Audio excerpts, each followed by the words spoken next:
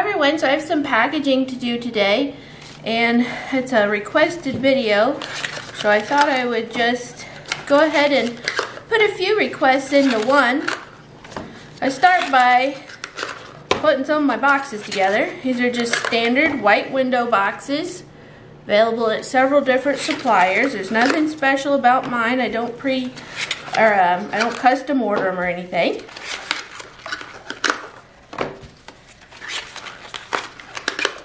Just a matter of putting them together.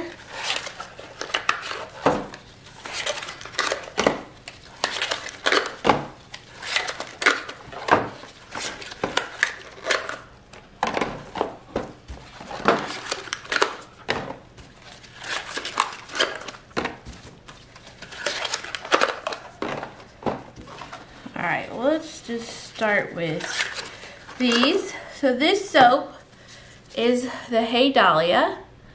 And I'm actually a little bit behind on packaging. I've already had this release. Okay, so we knew that was to happen, didn't we? That's alright.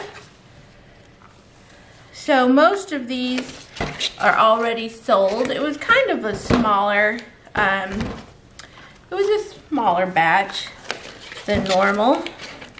A lot of the remakes I tend to do in smaller batches. I'd rather just make them um, more often. That being said though, I do have a lot of remakes on my shelf because I made like luscious lemon and eucalyptus spearmint such in such large um, batches and so they have been sitting around for the longest time. I feel like I need to move the camera, so hold on. Maybe this is just a little bit better. I hope so. Hope everybody stays in focus. This is actually my very first video that I'm filming of 2019. Everything else was uh, done quite a bit earlier in December. I'm right-handed, so it would do me better if they were over there. Often my husband and my son do the soap packaging. I'm very rarely involved in the soap packaging, but since this was just a smaller release, I haven't I haven't asked anybody to come up. They've not been up here since, gosh, early on in December when we were really moving and shaking for the holiday release. So there I have the Hey Dahlia. Most of this um, has been sent out already to the customized special. Um, she's requested it, so I went ahead and um, made a batch and made a little extra, but most of it has been shipped out already. I just do the paper towel like a paper towel underneath. I don't know why. I just, that's how I operate.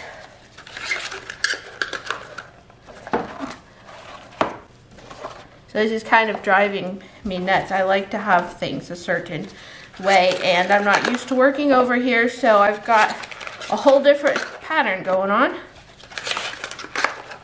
I get a lot of requests for soap packing, packing orders, um, wax melts, and the fact of the matter is, I don't really operate on this table over here except for soap, but this is where my um, lights are set up and everything is just set up for filming.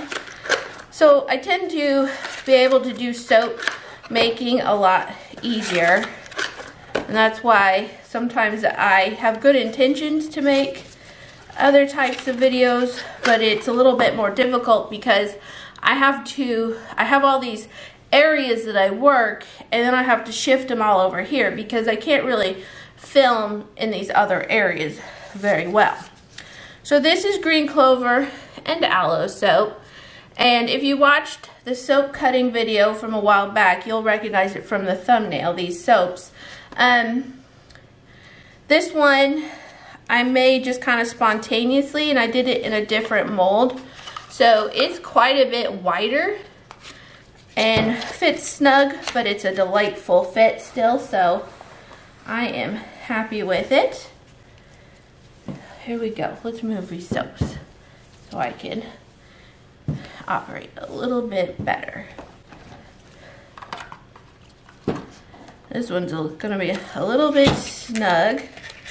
I have a particular customer who is also a soap maker that loves this soap. And so every time I make this soap, I think about her. And there's several, there are several soaps I make that uh, my customers have made quite the impact on me. So I always think about them when I'm making it and working with it. So hopefully it's in focus. I can't really tell on this little screen. My husband just had laser eye surgery and I'm starting to think that I need it too. I don't really want to do it though. I'm very sensitive about my eyes and I probably should wear glasses but I more so um, for driving at night and reading. And I seem to do okay when I'm reading. I don't feel like I need them and I don't really drive at night. But I am thinking that boy wouldn't it be nice to have corrected uh, corrected uh, vision. All right so this is the All is Calm. This is version 2.0 is what I'm calling it this is not my original All is Calm scent. I had um, purchased one part of the blend from a different supplier and it is the same type of scent but it came in and it was quite a bit different and so it mixed up my blend a little bit. These are a little bit smaller also. Anyway, and then I so I sold it the last time with the understanding in the listing that it was a little bit different. And then I had a customer request a special scent and I had everything I needed to remake it. But I thought to myself, I thought it feels, I don't know, it seemed a little bit different still than the last time.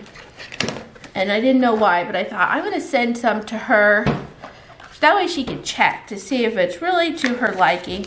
And it turns out that it was a little bit of a stronger scent. I keep good notes, but every now and again, fragrances just operate a little bit different. So I have this batch for sale. And then I'm gonna go back to my original one.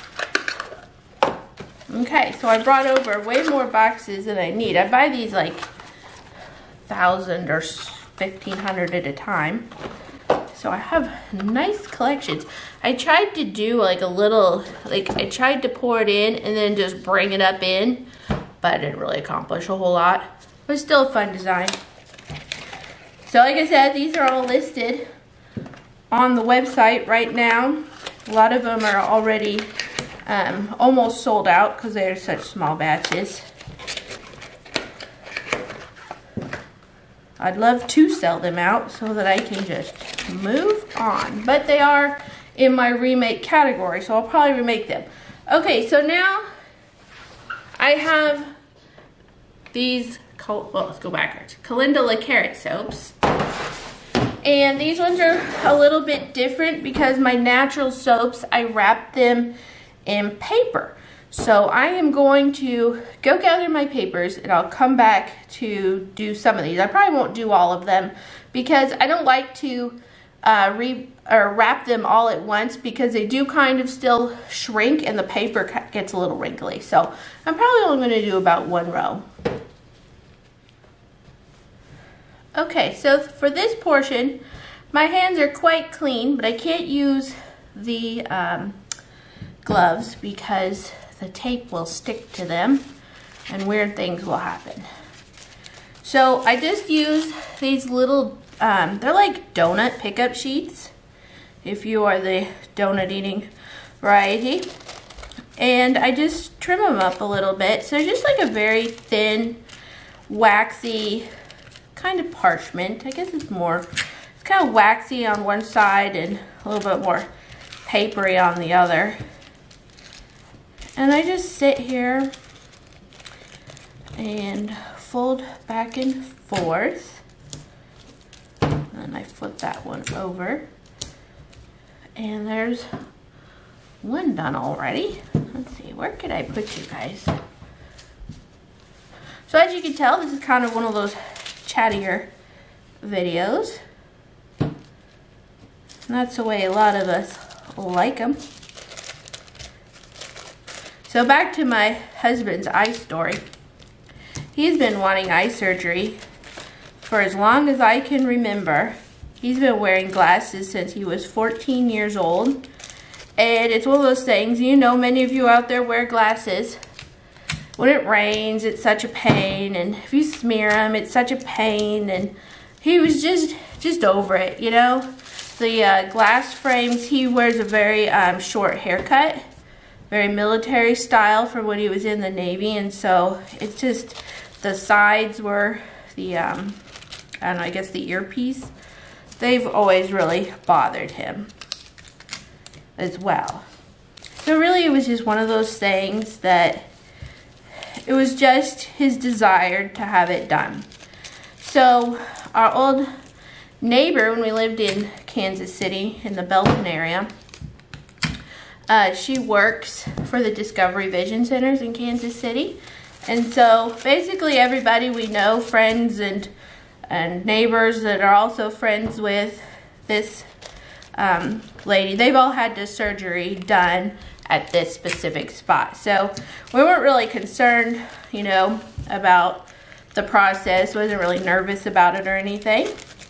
But the doctor that did the surgery has actually developed a less invasive version. It's called Smile or something like that. So that's what he had done. So because we have the dogs and we do not put dogs in kennels because they usually come out sick. And we were going to be gone for so long. Kansas City is about two and a half, three hour drive for us.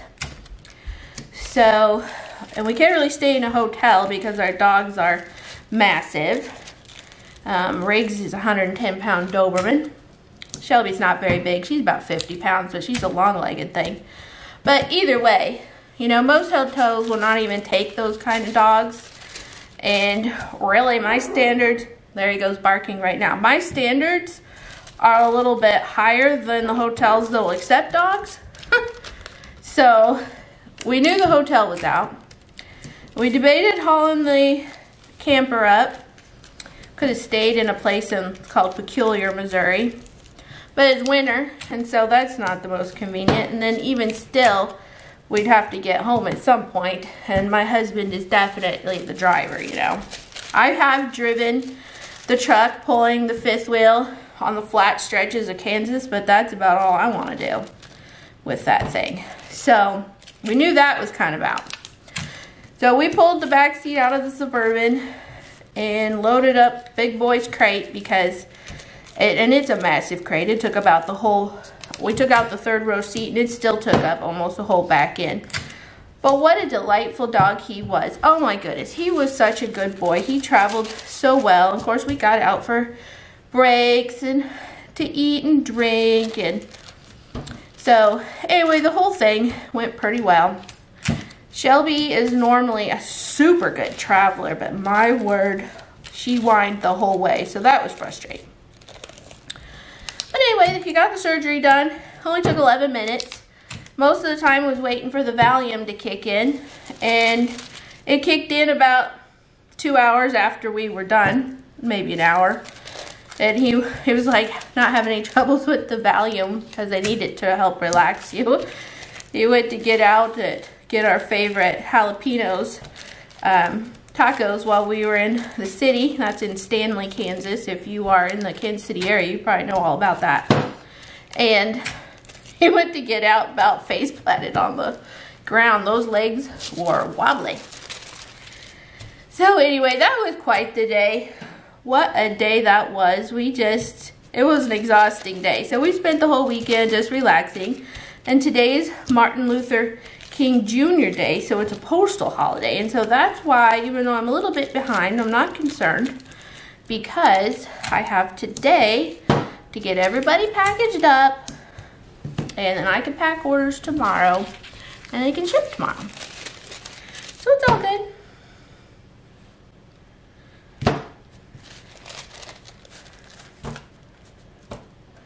So I don't think I have really any more stories for you. That pretty much covers it. Oh, And why, I think everybody ends up having Valium for the most part. But, um, when my husband went up, oh, he went up a couple weeks ago to see if he'd be a good candidate for LASIK. And the lady said that she was going to need to, um, I don't push put this thing on his eye to measure. And he's like, well, I'm warning you right now. My eye doctor says I have a very strong reflex and that's why I can't wear contacts. and she's like, she's kind of a little snippy, I guess. Said, this is not my first rodeo. And he was like, okay. I just thought I'd let you know on the off chance that it was an issue. And then she ended up having all sorts of troubles and so she had to she had to take it back. My husband was chatting with her, with our old neighbor then after this appointment. And the technician went by and our neighbor said, so how'd this one treat you? Heard he gave you a little bit of trouble. She's like, yes, I had to eat crow. Anyway, we do love Kansas City, but pretty much only for food and things that are available up there. We don't really like the city much itself anymore. We just have friends and, and there's so many opportunities and things that you can do in Kansas City, but we sure do like our life out in the country. We were so happy to get home, peace and quiet. One of the things I noticed, because I was driving a lot in the city, which Kansas City is not like massive, you know, like other cities. Um, and we were just mostly in the uh, Overland Park area. But still, I had to stop. I think every single light is like you can't get anything done up there. Because you're just stopping at lights every 30 seconds. I'm waiting there. Anyway, that's my story. I don't know anything else. I'll probably just speed this up for the rest and then I'll come back to label.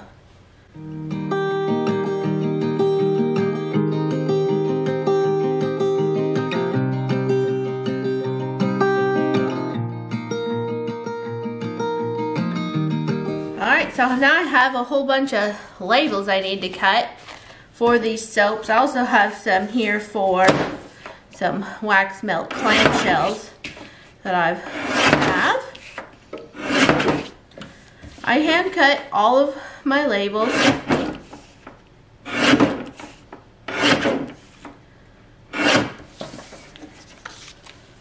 I just found it, this is the easiest way to get everything to line up just right.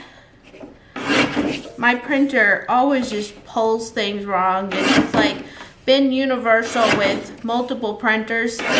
Pulls paper wrong, never fits in the um, template right so that it prints right. So I just take the extra time right now to do all this myself.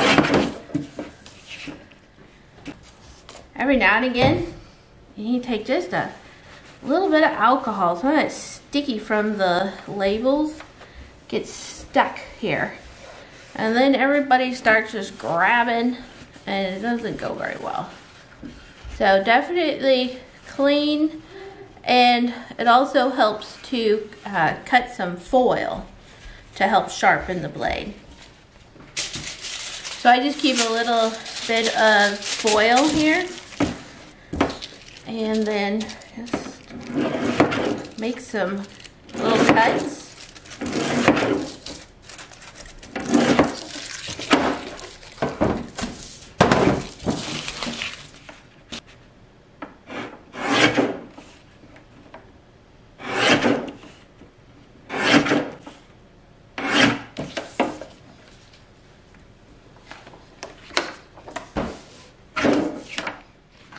So while I have my paper cutter out, I have some more sheets for my wax melt clamshell label.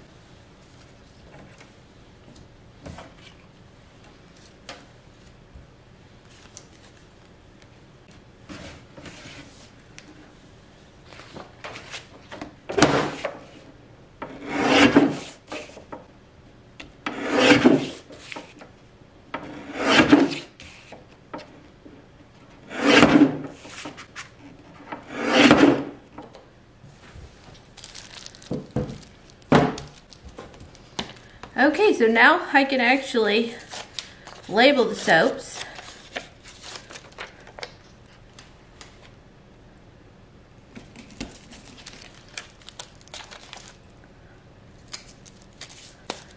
And there we have Calendula Carrot, looking delightful.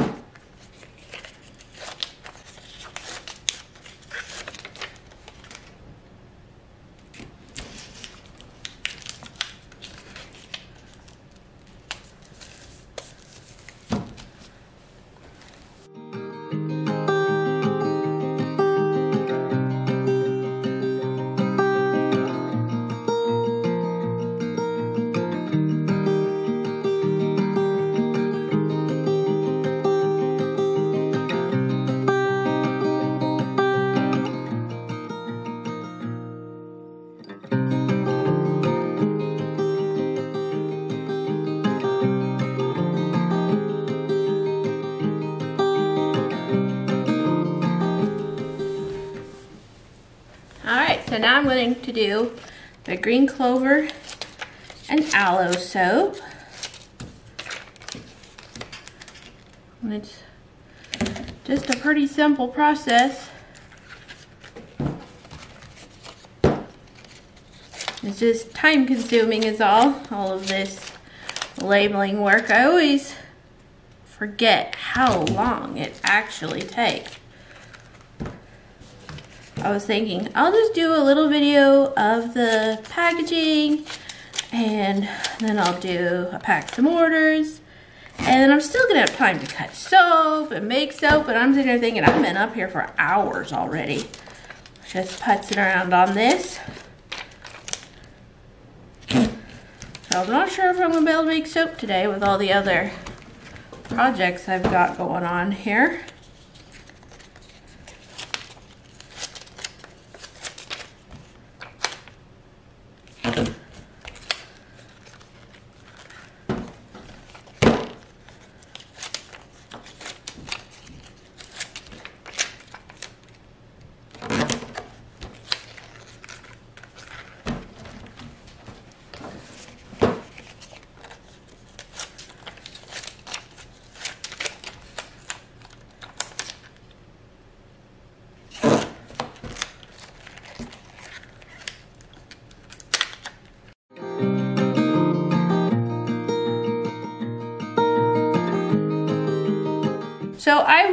continue to label. I'm going to do All is Calm and Hey Dahlia.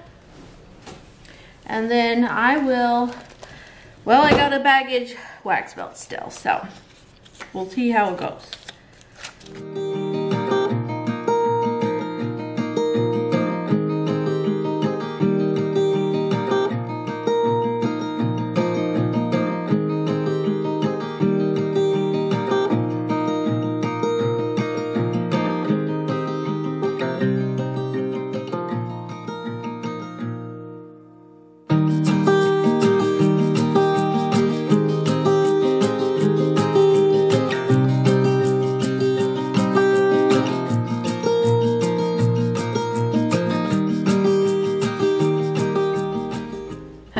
So here I also have a whole tray of wax melt clamshells to label. Bottom of these trays are always a little bit waxy from working with the wax melt. I just love keeping a little bit of alcohol around. Clean things up.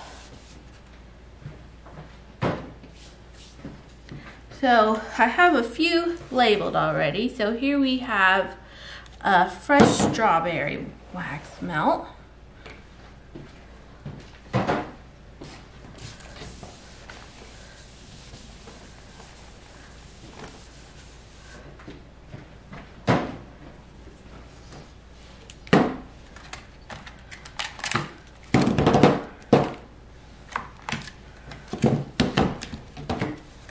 So with this release, I brought back some clamshells. So I have fresh strawberry. The orange is poppies and peaches. The yellow is luscious lemon. We have green clover and aloe and fresh linen. And then of course had to have figgy cream. And then I had a request to bring back Festive Forest. So I have a Festive Forest clamshells.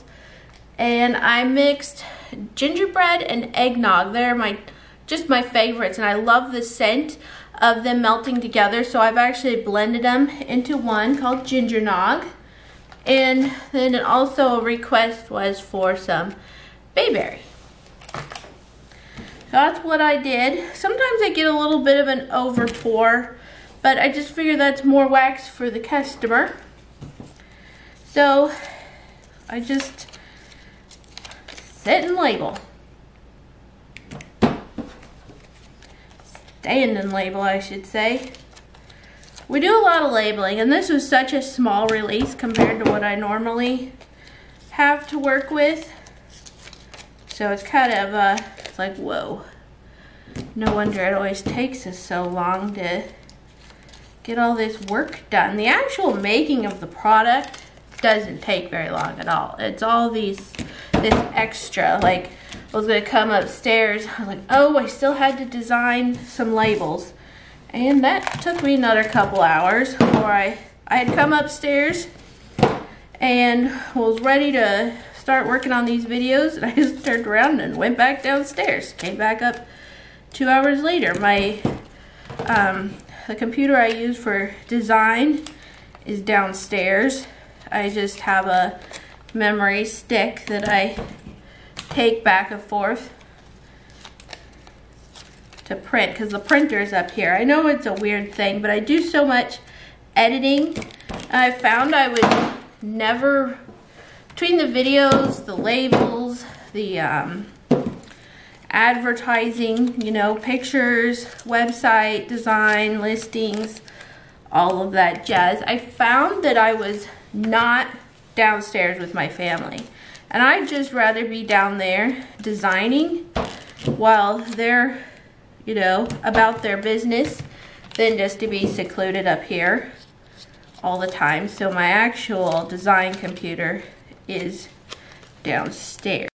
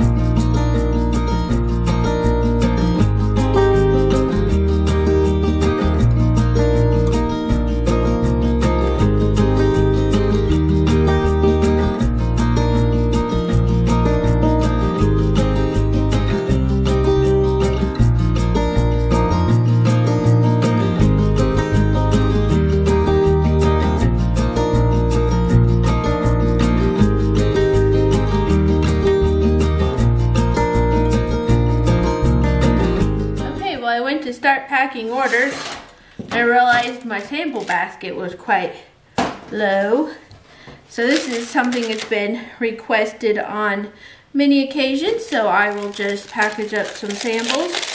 There's nothing much to it. I just drop them into the baggie.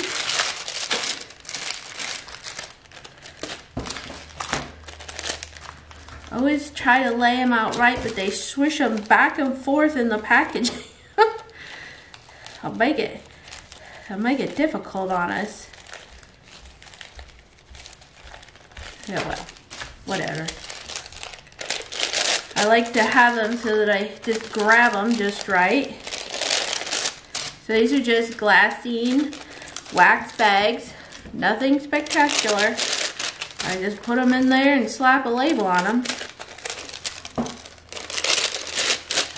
Usually I have trays full. I am a little slim on samples for this go around. I had intended that unicorny type soap to be for samples and then it just turned out to be a bust altogether. But I often make soap and wax just for samples.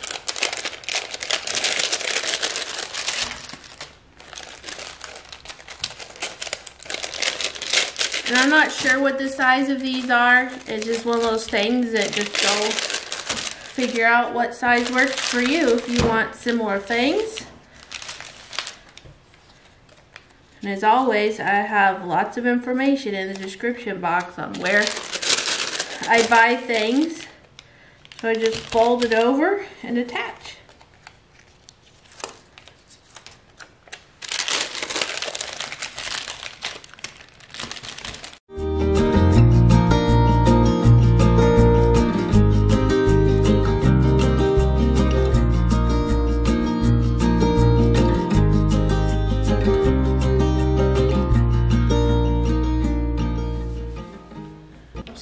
Up these little wax melts of this cute new mold.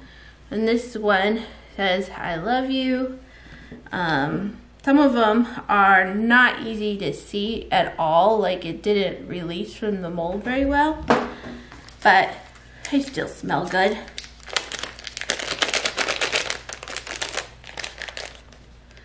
So I'm just going to tuck a few into this little baggie. Look how cute that is. Love it.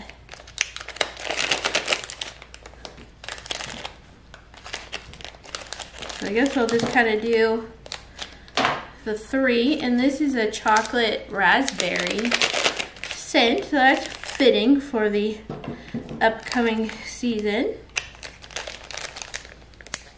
I do have quite a bit coming on for the February release. I'm really excited about it. I needed this little release to help my buy supplies. Kind of running a little slim around here. Seems like I'm due for a lot right now. I need new business cards. I need new shred. Label sheets I had to just get. What else do I need? I need more lye. I need more soaping oils. Did I say business cards already? Don't remember if I said that already. I just need quite a bit of things right now. It seems like it always comes at once and it ends up being a several thousand dollar excursion just to get caught up around here. And of course we buy in bulk, so it's not inexpensive to do all of that.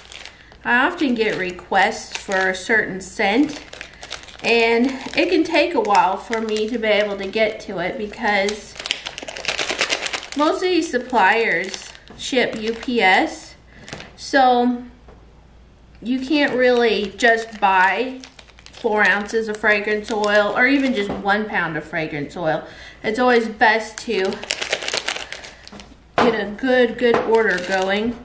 So I try to hold off on making these big orders or you know, hold off on making little orders until I can make a big order just to make the most of the shipping. You know, a lot of times it costs us a $100 just to ship.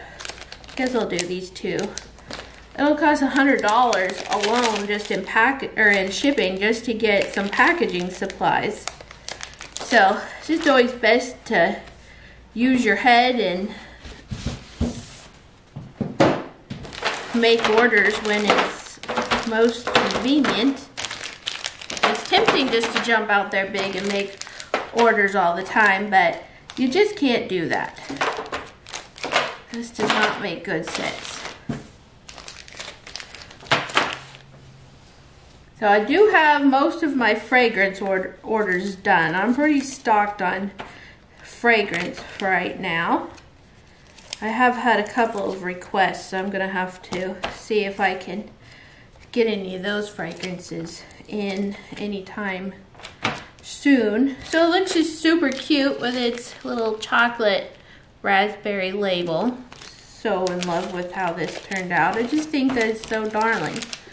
It's just so cute.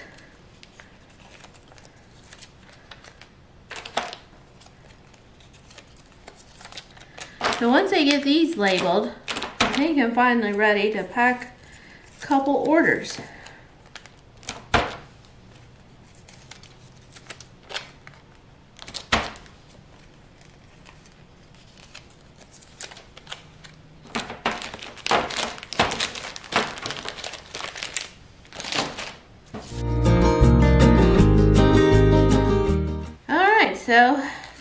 I need to go gather my shred and my tape and business cards and tissue paper and all that jazz and I will be back to pack some orders.